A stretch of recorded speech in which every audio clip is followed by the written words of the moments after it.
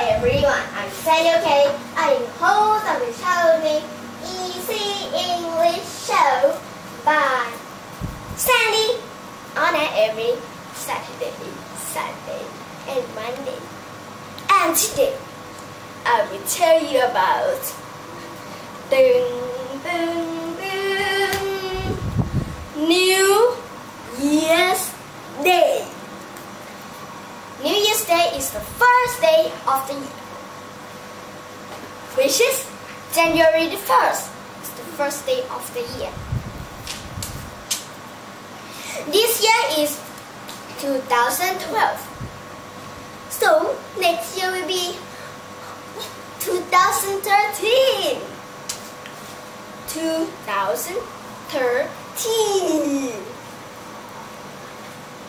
Around the world people will celebrate on the last day of the year, which is December 31st. they will cheer up. You know what cheer up is? Like this. and say, Happy New Year! Happy New Year!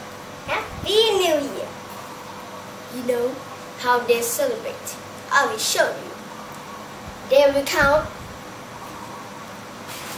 10 to 1. Count down. 10, 9, 8 like this. I will show you. 10,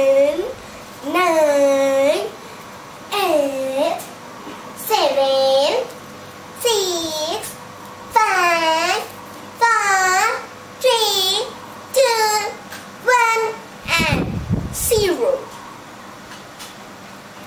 Happy, happy, happy New Year! and don't forget, okay, English is easy because we speak every day. Bye bye.